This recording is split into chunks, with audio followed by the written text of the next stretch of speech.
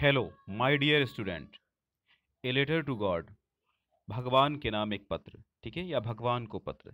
Long answer and type question and short answer type question हम लेके आए हैं। और हमने यहाँ पे ओनली मोस्ट इंपॉर्टेंट क्वेश्चन जो हैं आपके, मैंने वही लिए हैं। फिजूल के क्वेश्चन नहीं लिए हैं और मैं जो पिछली बार में पैराग्राफ करवाया था मैंने पैराग्राफ से संबंधित क्वेश्चन करवाए थे पैसेज से संबंधित क्वेश्चन करवाए थे। तो उनमें भी आपको कुछ ना कुछ शॉर्ट आंसर्स मिल जाएँगे।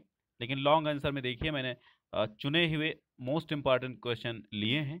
पहला प्रश्न आपका हो जाता है, मैं इसकी हिंदी अनुवाद सहित आपको समझाऊँगा। बिल्कुल दिमाग में बैठ जाएगा। एक बार शेयर करना है सभी को।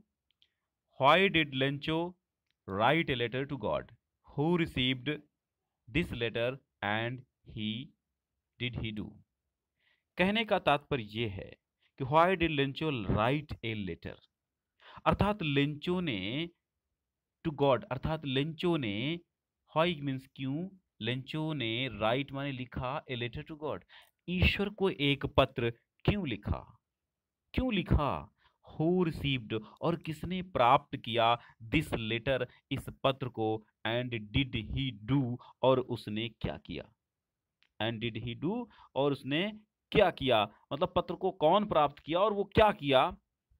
एक क्वेश्चन इस प्रकार भी इसका बन सकता है कि what made Lencho write to God what was it result यानी कि लेंचो ने ईश्वर को पत्र क्यों लिखा और उसका क्या परिणाम हुआ? या एक क्वेश्चन ऐसे भी इसका बन सकता है व्हाट वाज लेंचो लेंचो कौन सा? व्हाट कौन था और what what circumstances forced Lencho to seek help from God तो सारे क्वेश्चन का एक ही आंसर होगा, ठीक है? तो देखिए why did Lencho write a letter to God क्यों लिखा था पत्र? तो आप उसका उत्तर लिखेंगे। लेंचो राइटिंग पे विशेष ध्यान देना है। राइटिंग अगर आपकी कमज़ोर हुई तो ये समझ लीजिए कि आपके नंबर भी कमज़ोर होंगे, मार्क्स भी कमज़ोर होंगे। तो Lencho was a hard working farmer, Lencho कौन था? Lencho was a hard working farmer, Lencho एक हार्ड वर्किंग अर्थात कठिन परिश्रम करने वाला, कठिन परिश्रम करने वाला कौन था? कठिन परिश्रम करने वाला किसान था। कौन था? किसान था। एक कठिन परिश्रम करने वाला, एक मेहनती किसान था। ठीक है? Lencho was a hard working farmer. फिर क्या था? The hailstorm had completely destroyed the crop. Hailstorm hailstorm का मतलब होता है, हेल स्टॉर्म मतलब ओलो ने had completely destroyed the crop. उसकी फ़सल को पूरी तरह नष्ट कर दिया था। लेंचो फियर्ड, लेंचो डर गया था। लेंचो फियर्ड, लेंचो डर गया था। क्यों डर गया था? भाई लेंचो क्यों डर गया था? They would have no crop that year क्योंकि उसके पास कोई फ़सल इस वर्ष के लिए नहीं थी। हिज फैमिली वुड स्ट्रेव उसकी family his family his starve अर्थात उसकी फैमिली क्या है, पूरे वर्ष भूखी रहेगी। Still he had one hope the help from God. अब उसके पास एकमात्र आशा बची थी, ईश्वर की सहायता। ठीक है?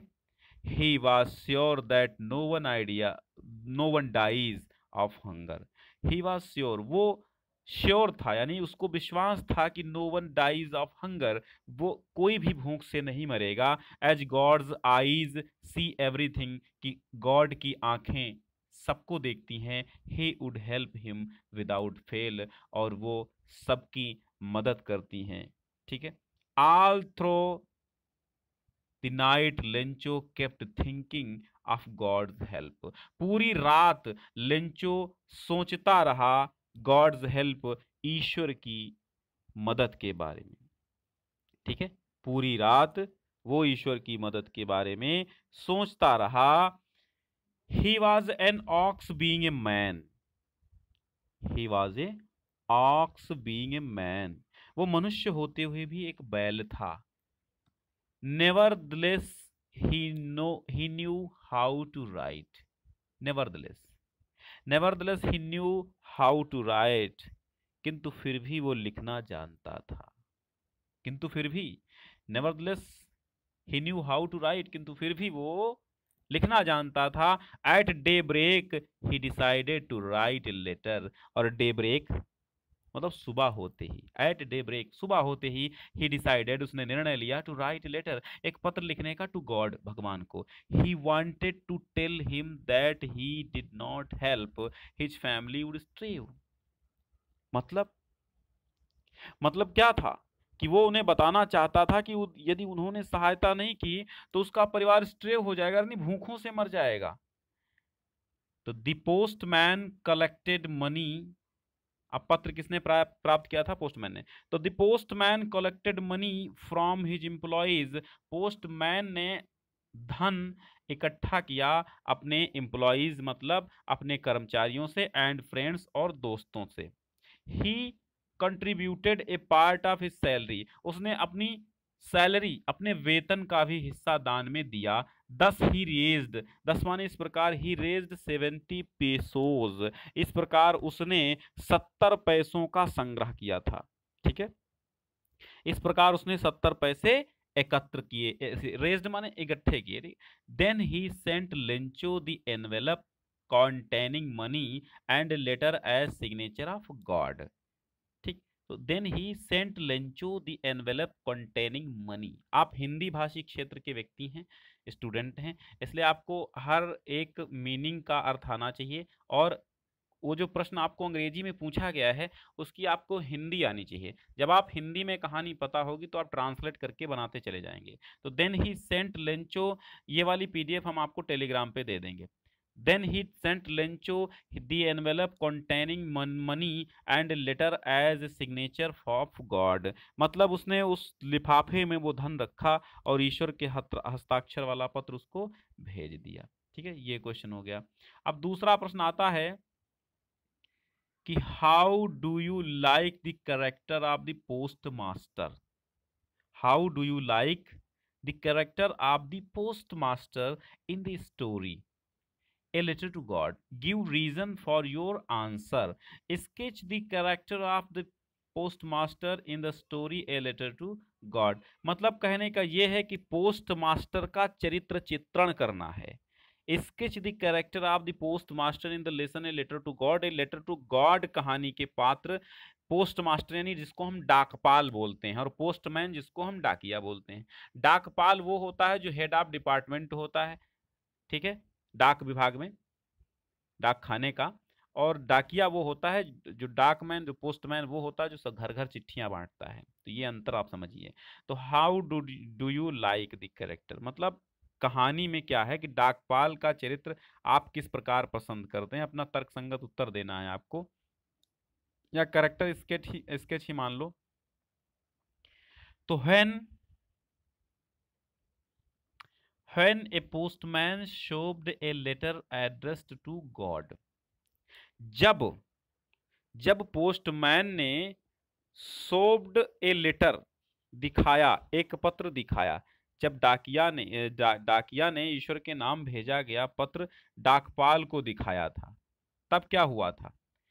The postmaster broke out laughing but almost immediately he turned serious तो जब डाकिया ने डाक, जो डाकपाल था, उसको पत्र दिखाया तो वो ज़ोर से हंसा, लेकिन शीघ्र ही क्या हो गया? वो सीरियस हो गया। He turn serious immediately immediately वो सीरियस हो गया। शीघ्र ही वो सीरियस होगा। ही सेड टू हिमसेल्फ उसने स्वयं से कहा हॉट फेथ क्या विश्वास है?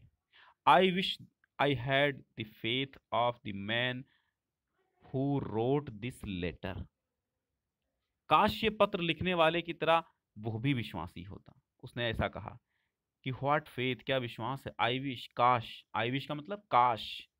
आई हैड वह भी द फेथ माने विश्वासी होता। आप the man who wrote this letter उस आदमी के तरह वो भी विश्वासी होता जिसने पत्र लिखा है ईश्वर के प्रति। He collected money from the employees अपने नौकरों से, अपने कर्मचारियों से उसने मनी कलेक्ट किया। And he himself gave part of his salary. And he, और उसने भी स्वयं से अपनी सैलरी का कुछ भाग दिया। Anyhow he sent, anyhow he sent to the needy. Needy माने आवश्यकता है जिसको, लाभार्थी कह सकते हैं या जरूरतमंद कह सकते हैं। तो एनी हाउ एनी हाउ कैसे भी he sent to the needy man a little more than half fair as fair as the letter writer wanted hundred pesos यानी कि जो जरूरतमंद व्यक्ति को भेज दिया था वो धन, और इतना नहीं था जितना उसने मांगा था। एनी हाउ ही सेंट अब वो कितना था? उतना नहीं था जितना उसने मांगा था। लेकिन उसने सेंट कर दिया, कितना निड्डी, किसको निड्डी मैन को? क्या a little more than half whereas तो जैसा उसने मांगा था, उतना तो नहीं था, लेकिन जो लिटिल थोड़ा आधे से थोड़ा ज़्यादा था। The letter writer wanted hundred pesos क्योंकि लेटर राइटर अर्थात लेटर का पत्र लेखक जो था, वो सौ पैसे चाहता था। The postmaster experience the contentment of a man who has performed good deed but Lencho called the employees of the post office as a bunch of crooks because they received less money money what he asked for तो दी postmaster experienced तो डाकपाल ने अनुभव किया ठीक है डाकपाल ने अनुभव किया contentment of a man who has performed good deed but Lencho called employees मतलब उसने तो अपनी जान में बहुत अच्छा काम किया था, डाकपाल ने। लेकिन क्या था? Lencho called the employees of the post office लेकिन लिंचो ने कॉल्ड माने वो कहता था एम्प्लॉयज़ माने कर्मचारियों को पोस्ट ऑफ़िस के कर्मचारियों को as a bunch of crooks bunch of crooks का मतलब होता है बेईमानों का समूह। गद्दारों का समूह बंच ऑफ़ क्रुक्स माने ठगों का समूह। पोस्ट ऑफ़िस के कर्मचारियों को कहता था, क्योंकि the received less money what he ask क्योंकि कम ही धन प्राप्त हुआ था जितना उसने मांगा था। ठीक है? अब जितना उसने मांगा था, उससे कम ही धन प्राप्त हुआ था। अब देखिए, तीसरा प्रश्न है ये, यहाँ दो नंबर लिख गया, ये तीसरा प्रश्न है राइट ए करेक्टर स्केच, आप लेंचो, मोस्ट इंपॉर्टेंट है, लेंचो का करेक्टर स्केच लिखना है, चरित्र लिखना है, Lencho was a hard working farmer, आप जानते हैं। तो ये हेडिंग बना के भी आप लिख सकते हैं, ए हार्ड वर्किंग फार्मर। तो Lencho was a hard working farmer, अर्थात लिंचो एक मेहनती किसान था। क्या था? मेहनती किसान था। फिर he lived in a valley on the top of a low hill वो घाटी में रहता था, जो एक निचली पहाड़ी पर स्थित थी। One day he faced ruin due to severe snowfall resulting a total damage of his crops एक दिन उसने देखा कि उसने सारी उसकी फ़सल जो है बर्बाद हो गई है। किस कारण से? वर्षा और ओलों के गिरने के कारण से। और टोटली डिस्ट्रॉयड हो गई, सब डैमेज हो गई। ही वॉज़ वेरी पुअर वो बहुत गरीब था। He had to support his family वो अपने फैमिली की के सपोर्ट में था, सहायता करता था। ठीक है? वो जो है, अपनी फैमिली को सपोर्ट करता था। अपने परिवार का पालन पोषण करता था। सपोर्ट मतलब पालन पोषण करना या अपनी फैमिली को सपोर्ट करना, सहायता करना। But his crops were ruined, परंतु उसकी फ़सल बर्बाद हो गई थी। So he turn to God in distress. तो फिर क्या हुआ था? तो विपत्ति में ईश्वर की ओर टर्न माने घूमा या मुड़ा या प्रेरित हुआ ईश्वर की ओर। ठीक है, डिस्ट्रेस माने दुख में, कठिनाई में। He was very simple he was very simple and innocent वो बहुत ही साधारण और निर्दोष था। ही निर्दोष या मासूम इनोसेंट मैंने कह, कह सकते हैं। He had great faith in God उसका बहुत महान विश्वास था गॉड में ईश्वर में। ही रोट ए लेटर उसने एक पत्र लिखा टू गॉड मैंने गॉड को टू हेल्प हिम उसकी मदद करने के लिए सेंडिंग ए हंड्रेड पीसोड सौ पीसोस भेज कर मदद करने के लिए एक पत्र लिखा था। दी स्टोरी डिस्क्लोज अब लास्ट में लिख देंगे। The story disclose that Lencho was very simple story हमें बताती है। कहानी हमें बताती है कि लिंचो बहुत सिंपल था, इनोसेंट था, हॉनेस्ट था, यानी ईमानदार था, हार्ड वर्किंग, कठिन मेहनत करने वाला था। His faith in God was unique. Unique माने विशेष। उसका जो ईश्वर में विश्वास था, वो विशेष था। ठीक है? अभी तक अगर हमारे चैनल को आपने सब्सक्राइब नहीं किया है तो कर लीजिए, क्योंकि यहाँ डेली लाइव क्लासेस हिंदी की मिलती हैं और फिर अन्य विषयों की भी हम देने की कोशिश करते हैं। How did Lencho feel when it अब शॉर्ट आंसर देखिए शॉर्ट आंसर हम लेकर के आए हैं। तो how did Lencho feel when it began to rain मतलब जब पानी बरसने लगा तब लेंचो ने किस प्रकार महसूस किया? When it began to rain Lencho went out for the pleasure of feeling the rain on his body ठीक है? When it began to rain जब पानी बरसने लगा, लेंचो वेंट आउट लेंचो बाहर गया। फॉर द प्लेजर माने आनंद के लिए आप फीलिंग माने अनुभव करने का द रेन माने वर्षा का ऑन हिज बॉडी माने अपने शरीर पर। अपने शरीर पर वर्षा का अनुभव करने के लिए बाहर चला गया। His fields needed some rain so he was very happy उसके फ़ील्ड माने खेत नीडेड माने खेतों को आवश्यकता थी। हिज फील्ड्स नीडेड उसके खेतों को आवश्यकता थी। सम रेन कुछ पानी की। So he was very happy इसलिए वो बहुत प्रसन्न था। यही प्रश्न आपका पूछा गया। व्हाट ठीक है यहाँ पे आ, हाँ ठीक है दूसरा प्रश्न है। What did Lencho write to God what यहाँ पे हॉट है व्हाट लिख गया है।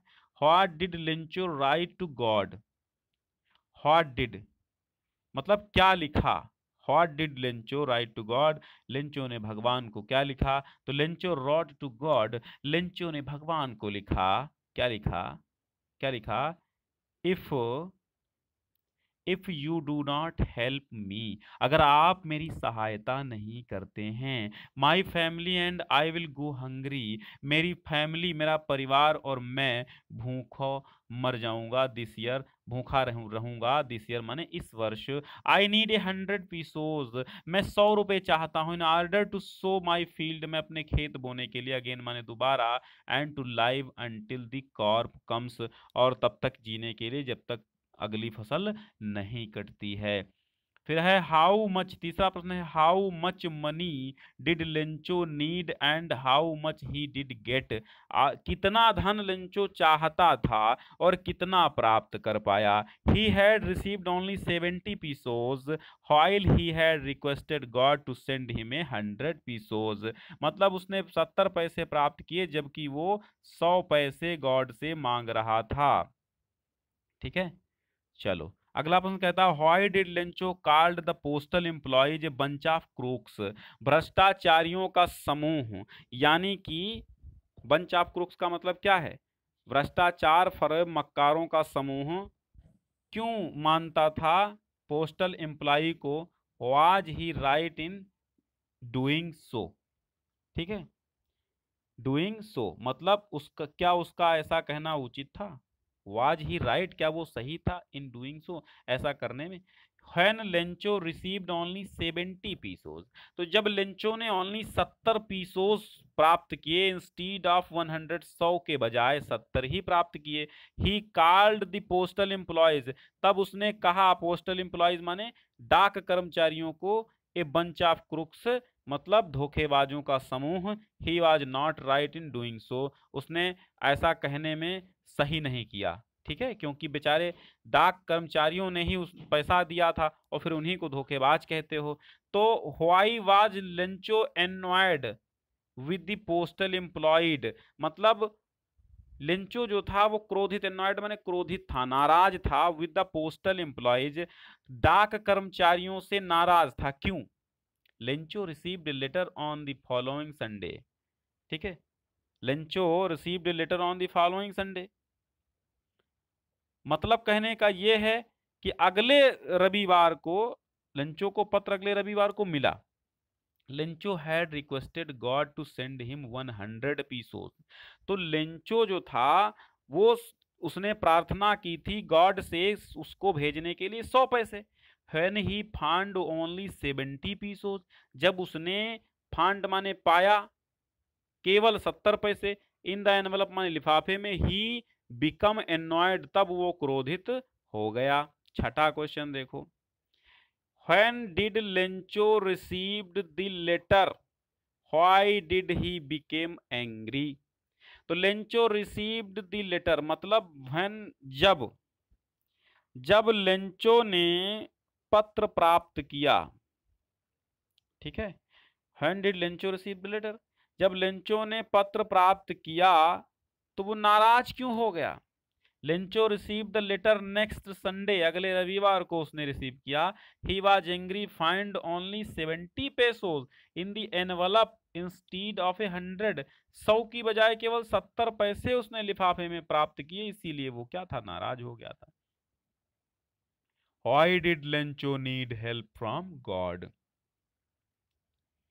Why did Lencho need help from God? Lencho ईश्वर से सहायता क्यों चाहता था? और या फिर why did Lencho ask for God for money फिर भगवान से धन क्यों कहा? Lencho's crop was totally destroyed कितनी बार बताया हमने? Lencho's crop was totally destroyed due to hail storms यानी कि ओलों के तूफ़ान से क्या हुआ था? उसकी सारी फ़सल नष्ट हो गई थी। There was no one to help him वहाँ पर उसकी मदद के लिए कोई नहीं था। ही बिलीव दैट गॉड उसको ईश्वर पर विश्वास था। वुड सर्टेनली हिम कि वो उसकी सहायता करेंगे। Therefore he wrote a letter इसलिए उसने क्या किया था? एक लेटर लिखा था टू गॉड माने भगवान को। And ask from one hundred pesos और उनसे सौ पैसों की मांग की थी। अगला प्रश्न है why did the postman go to his boss laughing heartily laughing heartily मतलब डाकपाल हँसते हुए अपने बॉस के पास क्यों गया? डाकिया हँसते हुए अपने अपने बॉस के पास क्यों गया? डाकपाल तो the postman saw the letter